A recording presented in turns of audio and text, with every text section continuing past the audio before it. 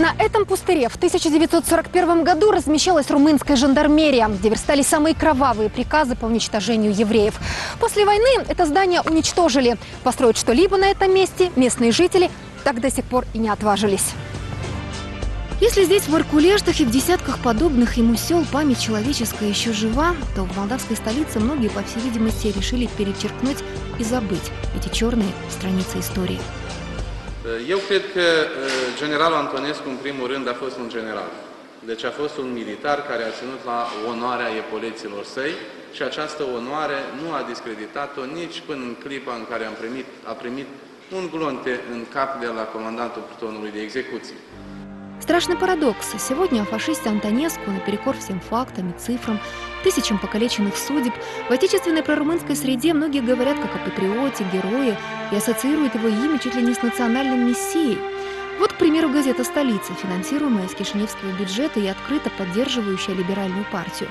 В ней вдохновенно воспевается подвиги кондукатора, приводится и знаменитая цитата «Солдаты, приказываю, переходите пруд», Кому и зачем нужно обеление фашистских преступников?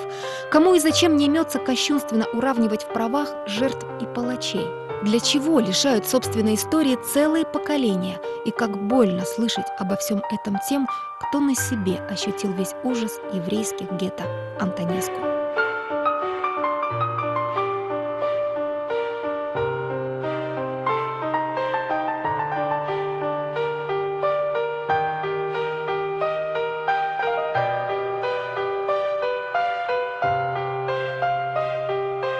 Мне двойны 60 лет, да, 65 лет скоро будет. Люди отвыкли от горя, от несчастья, понимаете? Им кажется, что всю жизнь так и будет. Но они не знают, что, не дай бог, если такой же, как Антонеску, пойдет у них во власти, в Румынии или тут в Молдавии у нас, или на Украине, тогда считаю, что этот баланс, который есть меж- международный, он испортится, понимаете вы или нет?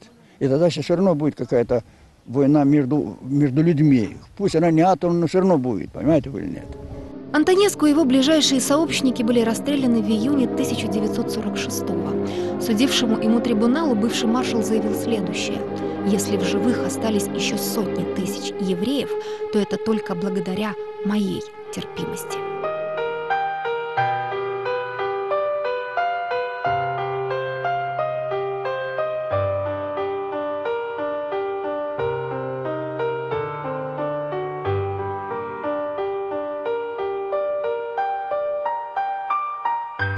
Оправдание нацистского приспешника, о преступлениях которого помнят и поныне, противоречит не только здравому смыслу, но и итоговым документам Нюрнбергского процесса. Впрочем, какое это имеет значение для тех, кто продолжает воспевать одного из самых зловещих персонажей в мировой истории – маршала Иона Антонеску.